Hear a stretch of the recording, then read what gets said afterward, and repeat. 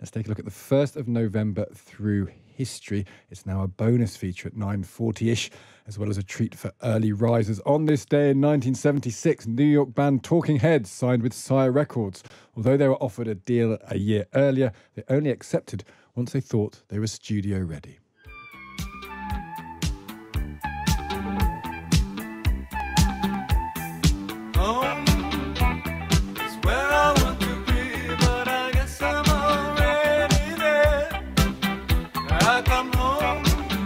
Saps the life out, life out of you, doesn't it? Uh, as Talking Heads, this must be the place. Other songs you might have heard include Once in a Lifetime and Psycho Killer. They're part of the new wave movement, mixing punk, funk, and art rock. You never guess who we booked for tomorrow. David Byrne. Uh, on this day in 1967, the film Cool Hand Luke opened in American theatres and became well known for Paul Newman's performance as one of the most famous anti heroes.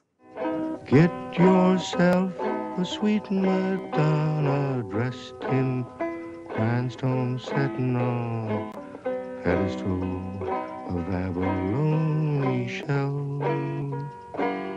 That's Paul Newman singing Plastic Jesus from Cool Hand Luke. It was one of Kevin Maher's top five Paul Newman films. When we asked him about it the other week, it's well worth the watch. Have you watched it yet, Asma?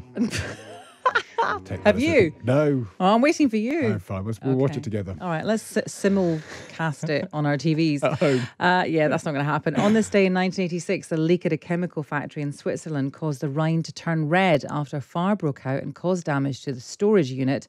Thousands of highly poisonous chemicals leaked into the Rhine River. In the Times today, on this day in 1990, Sir Geoffrey Howe resigned as Prime Deputy Prime Minister. Uh, The deputy is very important there, criticising how Margaret Thatcher was handling negotiations over Europe. In uh, Parliament 12 days later, he said she was undermining the policies of her own Chancellor. It's rather like sending your opening batsman to the crease, only for them to find, the moment the first balls are bowled, that their bats have been broken before the game by the team captain.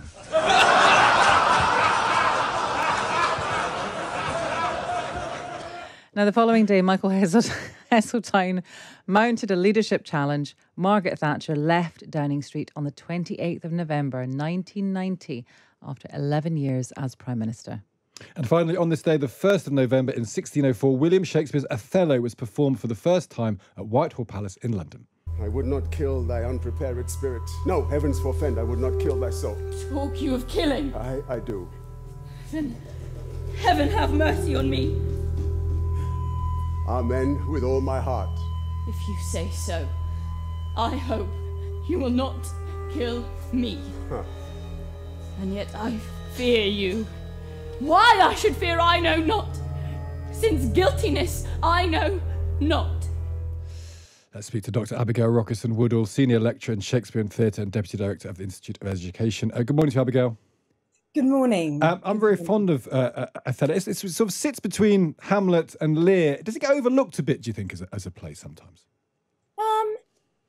I, don't think it. I don't actually think it does particularly. I mean, I think it's it's one of those plays that ever since that that first performance has actually been fairly regularly performed. There's no sort of period where it really drops out and um, stops being performed. Unlike plays like sort of King John, um, which we rarely see really.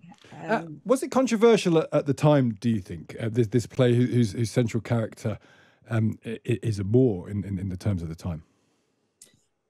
Sure that it would have been um, controversial as such, um, but there were there were other plays of the of the period that had Moors in them. Um, the I suppose the thing about Othello is that that he's he's much more rounded than than a lot of the um, African characters in other early modern plays. Um, so actually you know, although obviously, spoiler alert, he ends up uh, killing his wife. He actually, um, he's actually quite a sympathetic character and a noble character in the process of the play. And it's quite thoughtful. I mean, it, it- we have to take into account when it was written and, of course, the sort of the Yes. politics of the age. But with that in mind, it is quite a thoughtful account of race relations, isn't it? And and and uh, a black man marrying a white woman.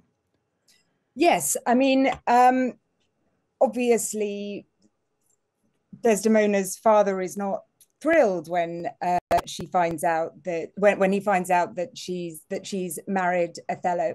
Although um, it was interesting, I remember hearing the director Nicholas Hytner talk about this to some A level students and say, "Well, look, you know."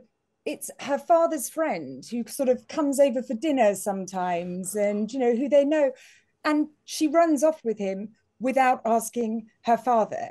And you know she's a she's a teenager or she's in her early 20s. So I remember him posing it to a group of A level students and saying, Do you think your dad would be thrilled if you ran off with somebody, you know, twice your age without asking his permission? So um, the other thing is, if you do, do a list of Shakespearean baddies, Iago would probably be, and maybe I don't know if he's a thing that makes the play a bit as well. That Iago would be in, in the top five Shakespearean baddies, I think, probably.